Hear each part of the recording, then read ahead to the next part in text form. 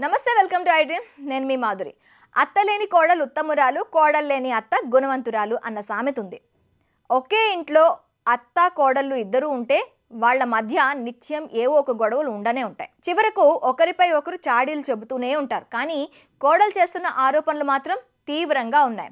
ఆడదానికి ఆడదే శత్రువన్న అపవాదు ఉంది. ముఖ్యంగా అత్త కోడళ్ళు తోడి కోడళ్ళు విషయంలో ఈ వ్యాఖ్యానాన్ని నొక్కి వక్కానిస్తుంటారు కొందరు. రెండు కొప్పులు ఒకే చోట ఇమడవని ఇద్దరు ఆడవాళ్ళు ఒక చోట ఉంటే యుద్ధాలు జరుగుతుంటాయని అంటుంటారు. అయితే ఎక్కువగా అపార్థాలకు తావునిచ్చే రిలేషన్షిప్స్ ఏవి అంటే అత్త కోడళ్ళవే.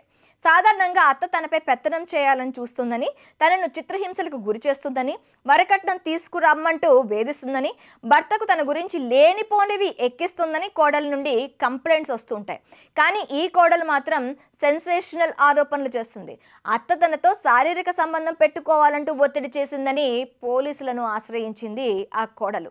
ఈ వింత ఘటన ఉత్తరప్రదేశ్లోని ఆగ్రాలో చోటు చేసుకుంది.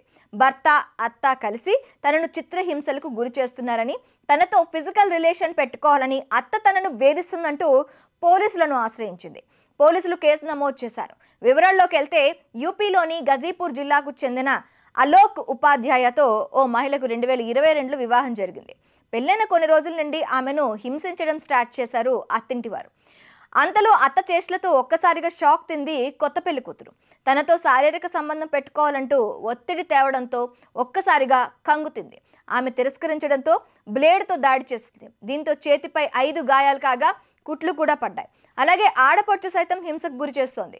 బాధితురాలి దుస్తులు లాక్కొని ఓ రూమ్లో బంధించి నెల రోజుల పాటు ఒకే డ్రెస్పై ఉండేలా చేసింది. వీటికి తోడు వరకట్న వేధింపులు లైంగిక వేధింపులు ఎదురయ్యాయని వెల్లడించింది. రెండు వేల ఇరవై మూడులో మగబిడ్డను కనిన తర్వాత ఈ వేధింపులు మరింత ఎక్కువైనట్లు బాధితురాలు ఫిర్యాదులో పేర్కొంది. భర్త కూడా ఆమెపై హింసకు పాల్పడేవాడు. ఆమెను కొట్టి ఇంట్లో నుండి గెంటేశాడు. ఇరుగు పొరుగు జోక్యం చేసుకోవడంతో మళ్ళీ ఇంట్లోకి తీసుకెళ్ళేవాడు.